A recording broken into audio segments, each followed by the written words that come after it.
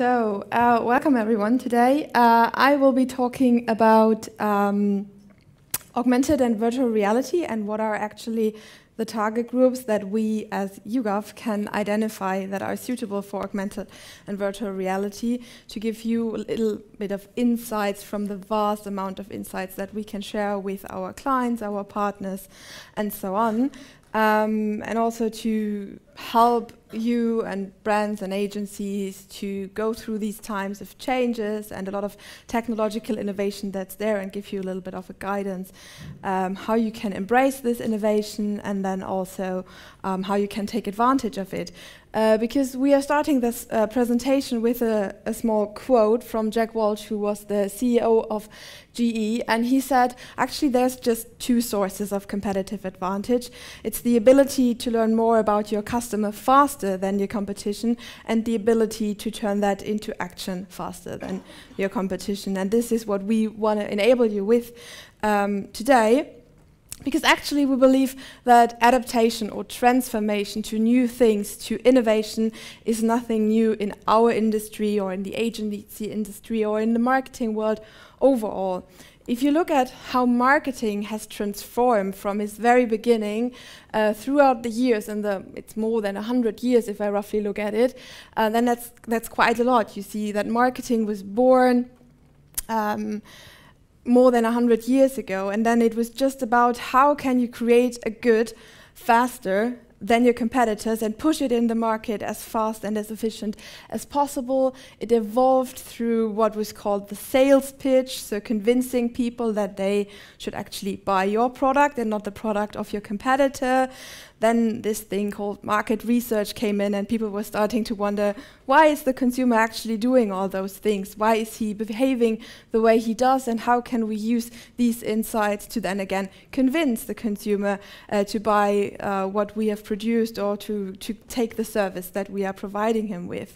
And then all these other things came up, what we know today as relationship marketing, so building a long term and not just a so uh, short-term uh, relationship with your clients, putting the consumer really first in everything you do, and then also um, the rise of digital marketing really helps companies to embrace all of this. But if you look at the last three stages especially, you can see that with the rise of data and technology, uh, the pace of all these changes and then the, the evolution of the business that we are working in has increased in pace a lot. And therefore we have to be even more looking at what's happening and looking at what the consumers are doing and what they are looking for, what are their needs, what are their wishes. Uh, and therefore, we came up with three innovation trends that we thought would impact uh, marketing in 2018. This is part of a presentation that started to evolve the beginning of this year, and actually at the conferences that I've witnessed, um, many of those things that I'll present you now have actually turned out to be very true and that were uh, kind of the common topic throughout a lot of discussions that we had at conferences or with our clients. So what we see in the marketing or also in the market research business is that there are a lot of new ways, and I think we've talked about that in the last couple of days uh, a little bit as well, that there are new ways of data collection and new uh, ways of then transforming the data that will uh, actually allow us and brands and agencies uh, to get a deeper understanding of what the consumer actually wants, what are consumer journeys, why is he choosing the way he chooses, uh, why is he not choosing something that we actually thought he, he should choose. Um, and that then enables um, many brands to uh, really personalize any customer experience that, that their company yeah, con consumers would have, and that is done by the help of AI. Uh, and that's something that we are witnessing in, in many different forms of businesses. Um, that also goes a lot further uh, because people will then try and find ways for consumers to really enhance the experience, personalize the experience. When you go on a website, one person will not see what the other person sees anymore, but they get individual, personalized experience, and thereby advertising or any other content that a brand publishes is often not seen as advertising anymore, but as a valuable source of information that this brand provides its, its consumers with. And then last but not least, and that's what we'll focus uh, on for my presentation today, there's a lot of technical innovations um, that will enhance the ability of, of companies to create really personal customer experiences. And actually, in the case of VR and AR, you will enable your consumers to experience your brand or the service even before people actually go to the hotel or buy the car or buy the new piece of furniture. Um, to really experience it in, in their home.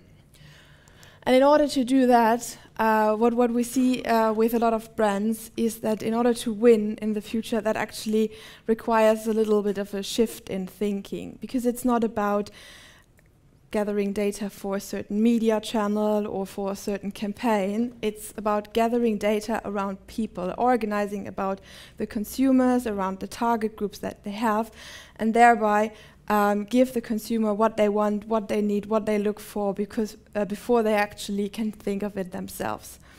And this again then requires companies to be as flexible and agile as possible uh, because they need to respond to what we said earlier, these fast changing consumer behaviors and need to be able to react faster and quicker than their competition. So actually, this all boils down to that the consumer, in the end, is the most important asset that you guys and brands and agencies um, have as an organization because this is the source where all the innovation, all the growth of a brand comes from because they need to fulfill the needs and wishes that actual people have. And this is where we, as YouGov, for example, can come in with the data, but that's also, of course, other approaches um, that you can take. Our approach is one of them. Um, tackling that challenge with the existing data that we as a global technology innovation data and analytics company have, sourcing data from our more than 6 million people who participate in our surveys uh, worldwide and utilizing that continuous stream of data that we can provide our consumers with. Because what we believe in is not the world of big data, it's the world of connected data, connecting different sources, connecting different pieces of information, and making them available on a continuous basis because brands need answers now and not tomorrow or in three weeks when the research project is done. Because this approach of, of connected data and having data available all the time through this continuous stream allows brands to be really integrated base their campaign planning, base their brand planning throughout the whole process on one piece of data, be more innovative than the others, and also be truly dynamic in responding to that ever changing market. Uh, and what we do in order to enable that sort of connected data approach um, is what we call the YouGov cube. It's a little metaphor uh, that says all of our data is going into that one data vault, which is yeah, more or less three-dimensional. You see there is uh, the data that we collect from our panelists. There's these six million panelists on the other dimension. And we've collected this data not since yesterday, but over the last couple of years. So there's also a time aspect in this sort of data that we are collecting. And we're connecting all sorts of different uh, data. So of course we have demographic data, lifestyle data, uh, and I think it was nice what was said earlier today. We are also looking beyond the demographics, looking at attitudinal data, looking at opinions and psychographics that are actually more relevant to describe um, how a target group looks like today. We have a lot of data on brand usage and perception, and of course all sorts of information on how are these people then using media because it's nice to describe your target group but in the second step you also want to reach them and you want to know how and where and how often you need to do that. So that's the the approach that we we provide our clients with. It's a single source connected data solution actually going throughout the whole campaign planning process. So what you can do with our data is to plan a campaign, identify, understand the audiences with a great deal of depth. You can then actually take that data and these target groups to the digital space and advertise directly to them. And then also track, because we've done that over, over time, whether within these target groups um, your brand metrics have changed. This is what we do with our two main products, uh, Profiles and BrandIndex. If you want to know more about it, you can read that in the paper or on our website. Because what I'm coming to next is the little case that I've uh, prepared for today's presentation. Uh, we use this data to actually tackle the, the, the topic that I uh, mentioned earlier. We want to understand how big is consumers' appetite actually for virtual uh, and augmented reality. And if you look on the next slide, you see that actually virtual uh, reality in the three market or four markets that we have looked at um, the ownership of such a device is not very big yet. Um, it's not what, what has been promised uh, by many companies so far. Um, and also, if you look then um, in the usage of uh, augmented reality apps in the next 12 uh, months, you see that the US is the market where it's the most promising looking at the moment, but looking at the UK and Germany, the numbers are still quite low, but maybe there's some room. Because actually, there are quite a few possible use cases for virtual and augmented reality. You can use it, for example, in the automotive business. There's a lot of companies who are using that technology to make uh, their consumers experience the car before they decide for a color or for a different engine or all sorts of features that they want to add into their car. Uh, the fashion and retail business really allows people to try on new clothes, new outfits uh, before they actually buy them, experience something at home. Um, the hospitality and tourism industry allows their clients to um, visit a hotel room before you actually go to the city.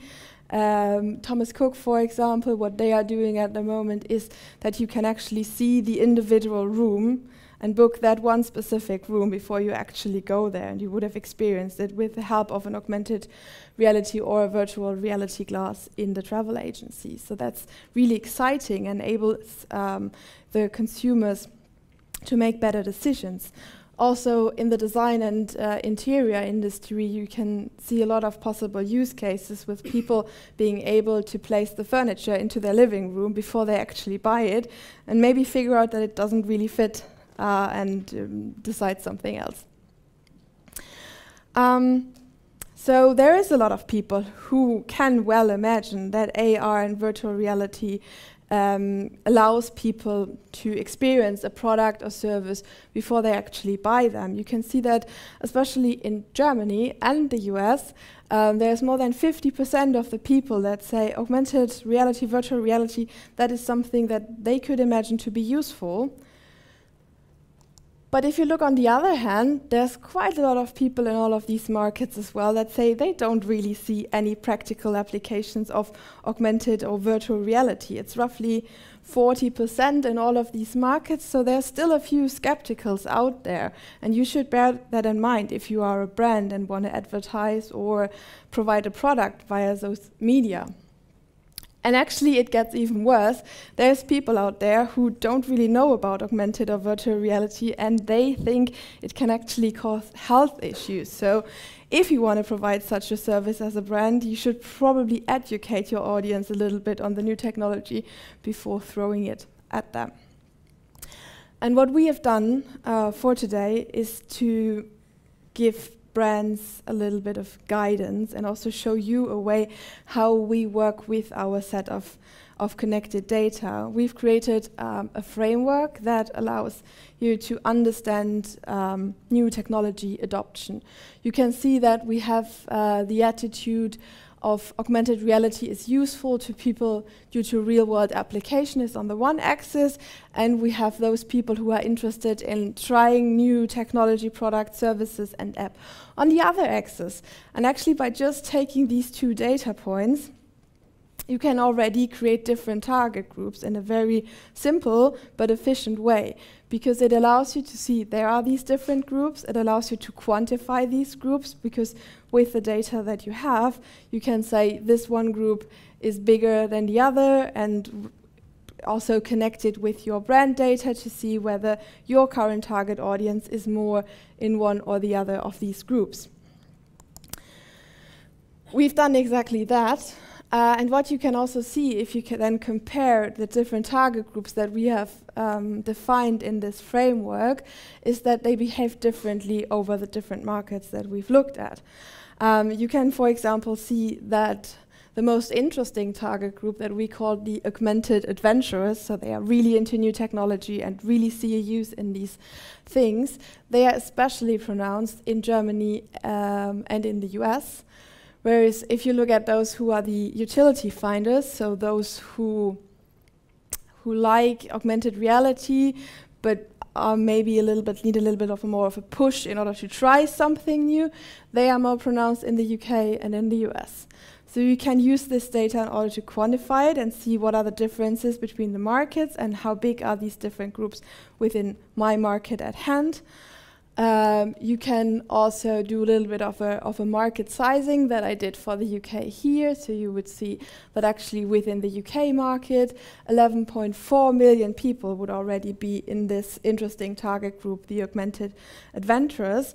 But on the other hand, you see also 9.7 million who we've called the skeptical laggards, who are still quite yeah, skeptical when it comes to adopting new technology or um, even finding something like augmented or virtual reality useful.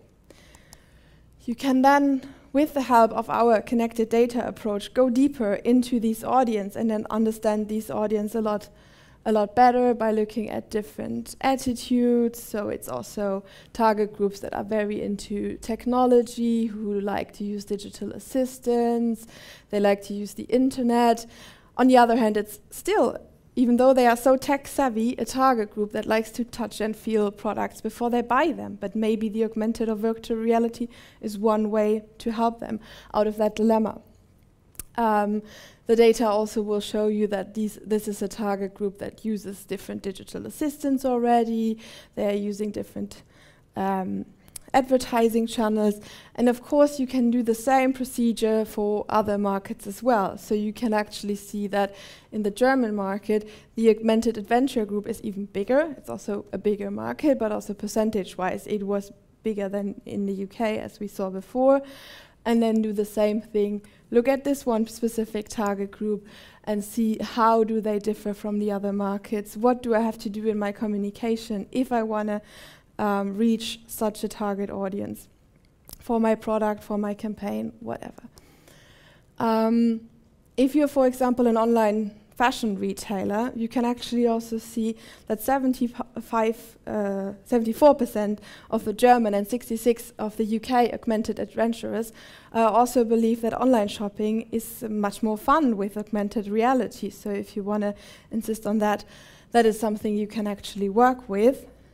And then you can again connect this data to a different data source and have a look at the brand tracking data that you have, that we have, um, and see how a brand that is actually already using augmented or virtual reality, in this case we looked at the fashion retailer Zara in, the, in Germany and in the UK, how this is then affecting things like impression, consideration or purchase intent. And in both markets you can see that actually within this target group they are doing very well, better than in the national average. And that um, actually these initiatives have proven very well for them. You can also have a look over time. We had a look at IKEA. Uh, they actually have apps that allow you to place the furniture into your living room or to your uh, kitchen um, before you can actually um, buy them. Um, they also have installations in their um, in their shops um, where you can do all this. And what you can see is that if you look at impression uh, and consideration, both metrics, the within the target group of the augmented adventurers, IKEA is performing a lot better also over time. You see that the effect is a little bit declining. Maybe they should advertise or communicate a little bit more on that, but you can still clearly see a significant difference. So that uh, leads me to, to our conclusion. Uh, what we believe is that companies should embrace these new innovations. They are important things and they will develop our market, and it's nothing to be scared of. But it also always has to happen in connection with truly understanding what the consumer wants if he or she is already ready for this new sort of innovation.